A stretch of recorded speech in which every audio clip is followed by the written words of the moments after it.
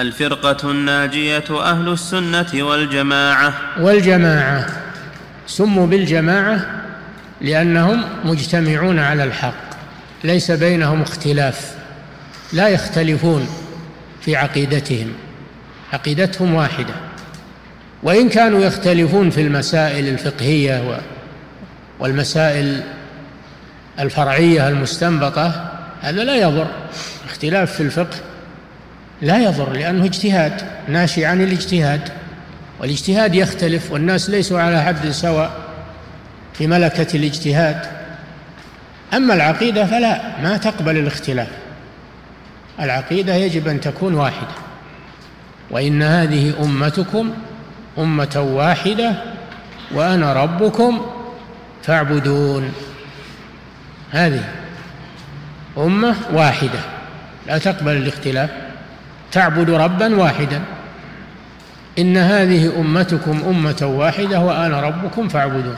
في الآية الأخرى وإن هذه أمتكم أمة واحدة وأنا ربكم فاتقون فتقطعوا أمرهم بينهم زبرا. كل حزب بما لديهم فرحون. اختلفوا وهذا لا يجوز أن يختلفوا في العقيدة.